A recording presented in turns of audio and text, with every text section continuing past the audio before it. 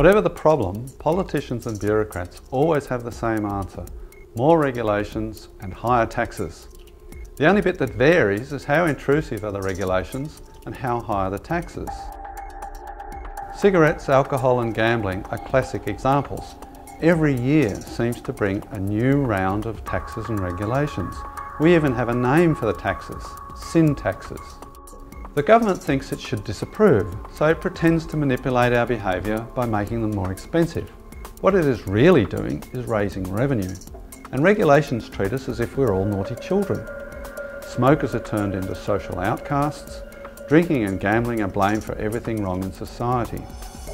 Everyone knows smoking is not good for you and that secondary smoking is best avoided. Excessive drinking and gambling are also not good. That's also well known, but plenty of people choose to smoke and do not harm anyone but themselves. Plenty also drink and gamble more than we might think is wise, but only harm themselves. Yet the government taxes cigarettes more than anywhere else. Australia has the most expensive cigarettes in the world, legal ones anyway. And it taxes alcohol and gambling as much as it can get away with. If it can come up with a story about a particular drinking or gambling issue being extra bad, like Alco Pops or poker machines, it taxes them more. And of course there are endless regulations. This fetish to regulate even intrudes into private property. Hotel and restaurant owners can't permit smoking anywhere indoors and it's their own property. In some places it's illegal to smoke in your own flat if it can be smelt next door. Is your property really yours? if the government can dictate such a basic thing as whether someone can smoke there? Is your body really yours if the government can dictate what you can do with it and where you can do it? All this is part of the growing nanny state. Not a day goes by where you are not affected in some way by the web of rules, regulations, restrictions and taxes that are imposed on every area of public life and many parts of your private life too.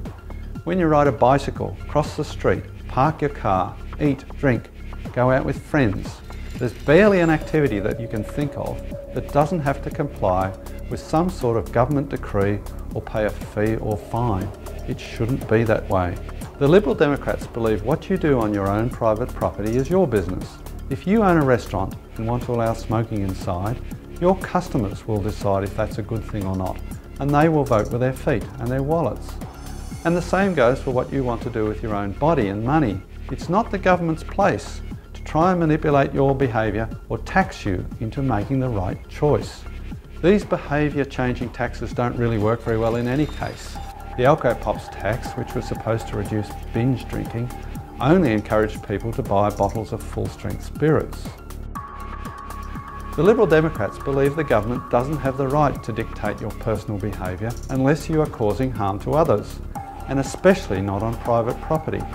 We also believe your body is your own and it's for you to decide if you'll wear a helmet when cycling, what to eat or drink, and whether to smoke or gamble.